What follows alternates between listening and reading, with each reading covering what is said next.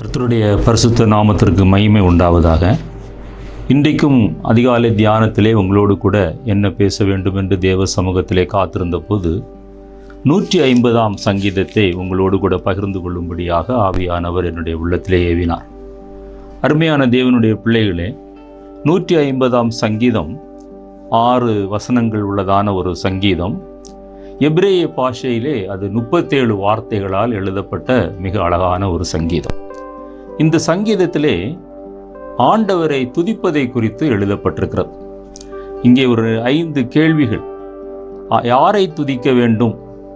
எங்கே துதிக்க வேண்டும்? எதற்காக துதிக்க வேண்டும்? எப்படி துதிக்க வேண்டும்? யார் துதிக்க வேண்டும்? என்கிற ஐந்து கேள்விகளுக்கு இந்த ஆறு வசனங்களிலே அருமையாக விடை கொடுக்கப்பட்டிருக்கிறது. பொதுவாக நம் ஒருவரை பார்க்கும்போது பிரைஸ் தலாட் அல்லது அல்லேலுயா என்று சொல்வது நாம் வழக்கம். பிரைஸ் தலாட் என்றாலே அல்லேலுயா என்றுதான் அர்த்தம். துதிப்பது ஸ்தோத்தரிப்பது ரெண்டு வித்தியாசமான அனுபவங்கள். தேவனுடைய மகத்துவமான கிரியைகளை பார்த்து நாம் அவரை போற்றுவதுதான் துதிக்கிற அனுபவம். தேவன் நமக்கு செய்த நன்மைகளுக்கு நன்றி அறிதலோடு கூட அவரை போற்றுவதுதான் ஸ்தோத்திரம் செய்கிற அனுபவம். இது ரெண்டையும் நன்றாக விளங்கிக் கொள்ள வேண்டும். இங்கே இந்த சங்கீதத்திலே நூற்றி ஐம்பதாம் சங்கீதத்திலே முதலாவது வசனத்தை நான் வாசிக்கும்போது அல்லேலுயா தேவனை அவருடைய பரிசுத்த ஸ்தலத்தில் துதியுங்கள். யாரை துதிக்க வேண்டும் என்பதற்கு இந்த முதல் சங்கீதத்திலே முதல் பகுதியிலே விடை கொடுக்கப்பட்டிருக்கிறது. தேவனை துதிக்கிற ஒரு பிள்ளைகளாக நீங்களும் நானும் காணப்பட வேண்டும். தேவன் ஒருவரே துதிக்கு பாத்திரர் என்று வேதத்திலே நாம் வாசிக்கிறோம். பதினெட்டாம் சங்கீதம் இந்த சங்கீதம் பதினெட்டு மூன்று வசனத்தை வாசிக்கும்போது துதிக்கு பாத்திரராகிய கர்த்தரை நோக்கி நான் கூப்பிடுவேன் அவர் என்னுடைய சத்துருக்களுக்கு என்னை நீங்களாக்கி ரட்சிப்பார் துதிக்கு பாத்திரர் அவர் ஒருவர்தான் இன்னொருவர் அல்ல. இந்த உலகத்திலே நாம் துதிக்க தகுதி உள்ள ஒரே ஒருவர் உண்டென்றால் அவர்தான் நம்முடைய ஆண்டவராய் இயேசு கிறிஸ்து துதிக்கு பாத்திரர் தேவன் ஒருவரே துதிக்கு பாத்திரர் என்று எழுதப்பட்டிருக்கிறது. சங்கீதம் தொண்ணூத்தி ஆறு நான்கை நாம் வாசிக்கும்போது கர்த்தர் பெரியவரும் மிகவும் ஸ்தோத்தரிக்கப்படத்தக்கவருமாயிருக்கிறார். துதிக்கும் அவர்தான் பாத்திரர் ஸ்தோத்திரத்திற்கும் அவர் ஒருவரே பாத்திரர் வேறு எந்த நபரும் துதிப்பதற்கும் ஸ்தோத்தரிப்பதற்கும் அவருக்கு இணையாக ஈடாக வேத புத்தகத்திலே சொல்லப்படவில்லை. துதிப்பதும் ஸ்தோத்தரிப்பதும் ஒரு விசுவாசியினுடைய கடமை. தேவனுடைய மகத்துவங்களை நினைத்து அவரை போற்றுவது துதிப்பது அவர் நமக்கு செய்த நன்மைகளை நினைத்து நன்றியறிதலோடு கூட அவரை போற்றுவது நாம் ஸ்தோத்திரம் செய்வது. இதை நம்முடைய வாழ்க்கையிலே எப்பொழுது நாம் உணர்ந்து செயல்பட வேண்டும். அவருடைய துதி எப்பொழுது நம்முடைய வாயிலே இருக்க வேண்டும். இந்த ஸ்தோத்திரமும் நம்முடைய வாயிலிருந்து எப்பொழுதும் கடந்து வர வேண்டும். ரெண்டாவதாக ரெண்டாவது கேள்விக்கு விடையை நாம் பார்க்கும்போது எங்கே எப்போது நாம் துதிக்க வேண்டும்? அதுவும் அந்த நூற்றி ஐம்பதாம் சங்கீதத்திலே முதல் வசனத்திலே சொல்லப்பட்டிருக்கிறது. அல்லேலுயா தேவனை அவருடைய பரிசுத்த ஸ்தலத்தில் துதியுங்கள். அவருடைய வல்லமை விளங்கும் ஆகாய விரிவை பார்த்து துதியுங்கள். அந்த வசனத்தின் முதல் பகுதியிலே நாம் எப்போது எங்கே துதிக்க வேண்டும் என்கிற அந்த விடை சொல்லப்பட்டிருக்கிறது. அவருடைய பரிசுத்த ஸ்தலத்திலே துதியுங்கள். நாம் நாள்தோறும் அவரை துதித்து கொண்டிருந்தாலும் வீடுகளிலே ஜெப வேளையிலே அல்லது மற்ற நேரங்களிலே அதிகமாக அவரை துதித்து கொண்டிருந்தாலும் அவருடைய பரிசுத்த ஸ்தலத்தில் சென்று அவரை துதிக்கிறது அவர் விரும்புகிற ஒரு காரியம். அது ஒரு மேலான அனுபவம் என்று வேதத்திலே நாம் வாசிக்கிறோம். அவருடைய பரிசுத்த ஸ்தலத்திலே நாம் அவரை துதிக்க வேண்டும். சூரியன் உதிக்கும் திசையிலிருந்து அஸ்தமிக்கும் திசை வரை உள்ளவர்கள் தேவனை துதிக்க வேண்டும். யார் யார் அவரை துதிக்க வேண்டும்? யார் அவரை துதிக்க வேண்டும் என்ற ஒரு கேள்விக்கு நீங்கள் விடையை கேட்பீர்களேயானால் வேதன் சொல்கிறது அல்லது எங்கே உள்ளவர்கள் அவரை துதிக்க வேண்டும் என்கிற ஒரு கேள்வியை நீங்கள் கேட்பீர்களேயானால் சூரியன் உதிக்கும் திசையிலிருந்து அஸ்தமிக்கும் திசை வரை உள்ளவர்கள் தேவனை துதிக்க வேண்டும் என்று எழுதப்பட்டிருக்கிறது. நூற்றி பதிமூன்றாம் சங்கீதத்திலே மூன்றாவது வசனம். இப்படி ஆய் சொல்கிறது. எனவே உலகம் முழுவதும் உள்ள சகல மனிதர்களும் சிருஷ்டி கர்த்தரை துதிப்பதை ஆண்டவர் விரும்புகிறார். காலையில் எழும்பி பாருங்க எத்தனையோ பறவைகள் ஆண்டவரை துதித்து கொண்டிருக்கும். காலையில் கூவிடும் பறவைகள் மாலையில் கூப்பிடும் விலங்குகள் இன்பமாய் இயேசுவை துதிக்கின்றன. என்னையும் துதித்திட அழைக்கின்றன என்கிற ஒரு அருமையான பாடல் உண்டு. அந்த அதிகாலையிலே பறவைகள் ஆண்டவரை துதிக்கின்றன. அவர்களோ அந்த அவைகளோருக்கு முன்பாக மனிதர்களாகிய நாம் எழும்பி ஆண்டவரை துதிப்பதை ஆண்டவர் நம்முடைய வாழ்க்கையிலே விரும்புகிறார். தேவனை துதிப்பது அவருடைய விருப்பமாக இருக்கிறது என்று வேத புத்தகத்திலே வாசிக்கிறோம். அது மனிதனை சிருஷ்டித்த அந்த ஆண்டவரை அந்த சிருஷ்டி கர்த்தரை நாம் துதிக்க வேண்டும். ஐம்பதாம் சங்கீதத்திலே இருபத்தி மூன்றாவது வசனம் இப்படியாய் சொல்கிறது ஸ்தோத்திர பலியிடுகிறவன் என்னை மகிமைப்படுத்துகிறான். அவர் நம்மை சிருஷ்டித்த நோக்கம் நம்முடைய வாழ்க்கையில அவர் எத்தனையோ நன்மைகளை செய்திருக்கிறார். எத்தனையோ ஆபத்துகளிலிருந்து விபத்துகளிலிருந்து நாச மோசங்களிலிருந்து வியாதியிலிருந்து இந்த கொரோனா வைரஸ்னால எத்தனையோ கோடிக்கணக்கான பேர் பாதிக்கப்பட்டிருக்கிறாங்க. எத்தனையோ லட்சக்கணக்கான ஜனங்கள் மறித்து போயிருக்கிறாங்க. அந்த சூழ்நிலையில ஆண்டவர் நம்மை ஜீவனோடு சுகத்தோடு அவர் பாதுகாத்து வந்திருக்கிறார்.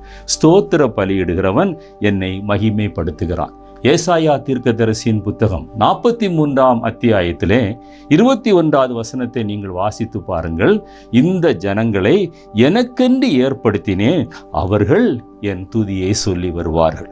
நம்முடைய ஆண்டவர் நம்மை அதற்காக ஏற்படுத்தியிருக்கிறார். எப்படி ஏற்படுத்தியிருக்கிறார்?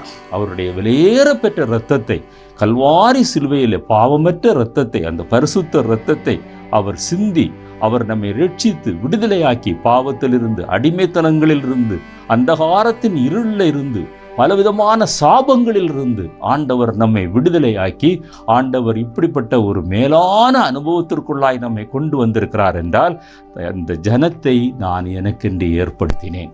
அவர்கள் என் துதியை சொல்லி வருவார்கள். இன்றைக்கு தேவாலயங்களிலே வருகிற அநேக விசுவாசிகளுடைய வாய்கள் திறக்கப்படவில்லை. கர்த்தரை அவரால் துதிக்க முடியவில்லை. அவர்களுடைய வாழ்க்கையிலே விடுதலை இல்லை.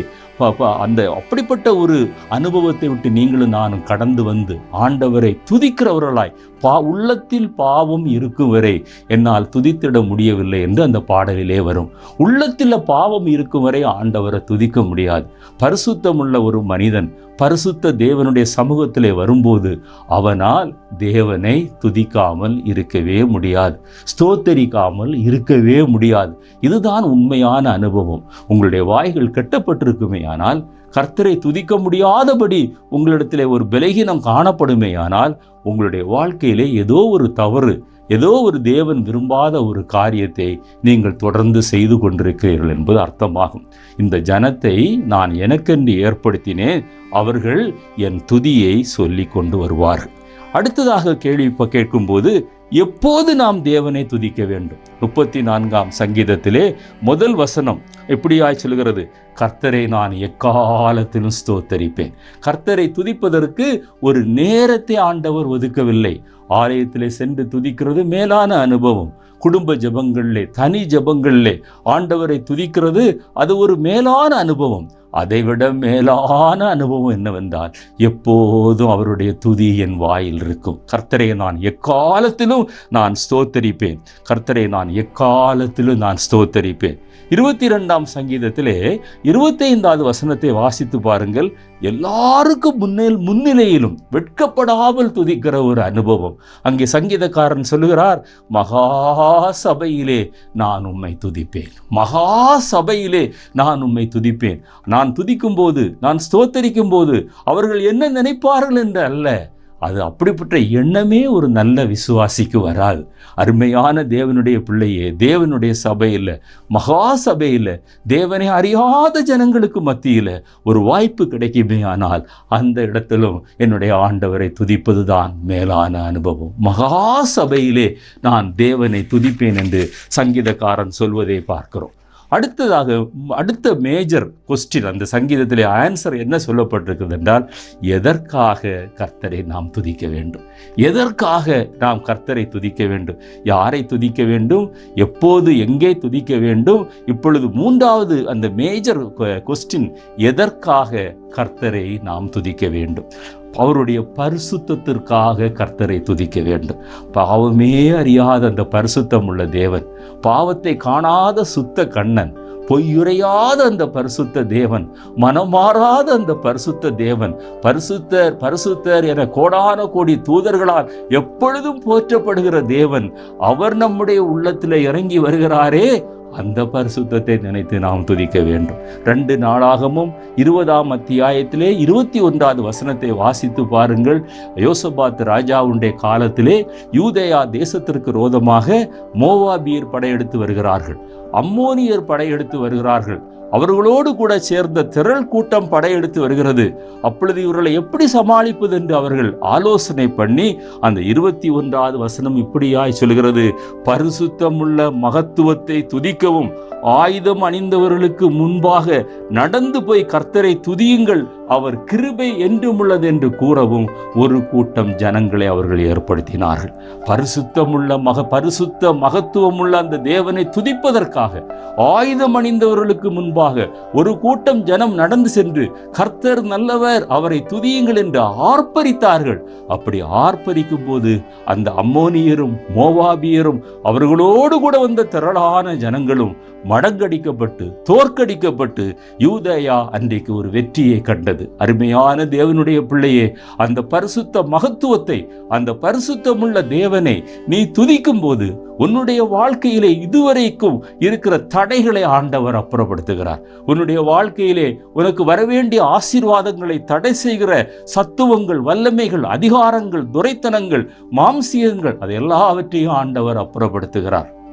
உனக்கு எதிராய் உருவாக்கப்படும் எந்த ஒரு வாய் ஆயுதமும் வாய்க்காதே போக வேண்டும் என்றால் நீயும் நானும் கர்த்தரை துதிக்கிறவர்களாய் காணப்பட வேண்டும். அந்த பரிசுத்தமான மகத்துவத்தை நினைத்து ஆண்டவரை நாம் துதிக்க வேண்டும். அடுத்ததாக பார்க்கும்போது எதற்காக துதிக்க வேண்டும் என்றால் அவருடைய இரக்கத்திற்காக நீங்களும் நானும் துதிக்க வேண்டும். அவருடைய கிருபைக்காக நீங்களும் நானும் ஆண்டவரை துதிக்க வேண்டும். அவருடைய உண்மைக்காக நீங்களும் நானும் ஆண்டவரை துதிக்க வேண்டும். நூத்தி முப்பத்தி எட்டாம் சங்கீதம் இரண்டாவது வசனம் இப்படி ஆய்ச்சல்கிறது அவருடைய இரக்கத்திற்காக அவருடைய கிருபைக்காக அவர் நம்மேல் காட்டுகிற அந்த உண்மையான அந்த பராமரிப்புக்காக கரிசனைக்காக நீங்களும் நானும் ஆண்டவரை துதிக்கிறவர்களாய் காணப்பட வேண்டும். அவருடைய கிரியைகளை நினைத்து துதிக்க வேண்டும். அதற்காகத்தான் நாம் படைக்கப்பட்டிருக்கிறோம். ஆண்டவர் நம்மை படைத்த நோக்கமே அந்த விழுந்த தூதர்களுக்கு இடத்துல நீங்களும் நானும் பூமியில் இருந்து அவரை துதிக்க வேண்டும். அந்த துதிக்கிற அனுபவம் நம்முடைய வாழ்க்கையில நிரந்தரமாக எப்பொழுதும் காணப்படும். சுவாசமுள்ள யாவும் கர்த்தரை துதிப்பதாக. என்ன அர்த்தம்? சுவாசமில்லாத ஒரு நிலைமை வரும்போதுதான் துதிப்பது அங்கே நின்றுவிடும். எனவே சுவாசமுள்ள எல்லாரும் கர்த்தரை துதிக்கிற ஒரு அனுபவம் தான் ஒரு கிறிஸ்தவ ஜீவியத்திலே தேவன் விரும்புகிறதான ஒரு நல்ல அனுபவமாய் காணப்படுகிறது. அடுத்ததாக நான்காவது கேள்வி எப்படி ஆண்டவரை துதிக்க வேண்டும்? எப்படி ஆண்டவரை துதிக்க வேண்டும்? பலவிதமான காரியங்கள் அங்கே சொல்லப்பட்டிருக்கிறது. எக்கால துணியோடு அவரை துதியுங்கள். வீணையோடு சுரமண்டலத்தோடு அவரை துதியுங்கள். தம்புரோடு நடனத்தோடும் அவரை துதியுங்கள். யாழோடும் தீங்குழலோடும் அவரை துதியுங்கள். ஓசை உள்ள கைத்தாளங்களோடு அவரை துதியுங்கள். பேரோசை உள்ள கைத்தாளங்களோடு அவரை துதியுங்கள்.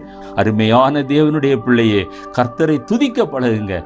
கர்த்தரை துதிக்கும் போதுதான் ஒரு ஆவிக்குரிய ஜீவியத்தில் ஒரு விடுதலை உண்டாகும். அவருடைய மகத்துவமான கிரியைகளை நினைத்து துதியுங்க. அவர் உங்களுடைய வாழ்க்கையில செய்த நன்மைகளை நினைத்து அவரை ஸ்தோத்தரியுங்க. சோத்தரியாமல் இருப்பது பாவம் என்று வேதத்திலே வாசிக்கிறோம். ஆண்டவரை துதியுங்க. அதிகாலையில் உங்களுடைய வீட்டிலிருந்து கர்த்தரை துதிக்கிற சத்தம் மற்றவர்களுடைய காதுகளில் விழட்டும். உங்கள் வீட்டை சுற்றிலும் இருக்கிற எரிகோ கோட்டை போன்ற அந்த ரட்சிக்கப்படாத ஜனங்களுடைய அரண்கள் நிர்மூலமாகட்டும். அந்த கோட்டைகள் இடிந்து விழட்டும். ஒரு சிலரையாவது கர்த்தருக்காக ஆதாயப்படுத்துவோம். கர்த்தருக்காக ரட்சிப்புக்குள்ள வழி நடத்துவோம். பரிசுத்த நித்திய ஜீவனுக்குள்ளாய் வழி நடத்துவோம். தேவன் தாமே உங்களை என்னை ஆசீர்வதிப்பாராக. இந்த வார்த்தையை கேட்டுக்கொண்டிருந்த உங்கள் ஒவ்வொருவருடைய வாழ்க்கையிலும் துதியின் சத்தமும் ஸ்தோத்திரமும் பெருகுவதாக இதுவரைக்கும் என்னை கவனமாய் கேட்டுக்கொண்டிருந்தவங்க ஒவ்வொருவரையும் கர்த்தர் இந்த நாளிலே அபரிதமாக ஆசீர்வதிப்பாராக. ஆமென்.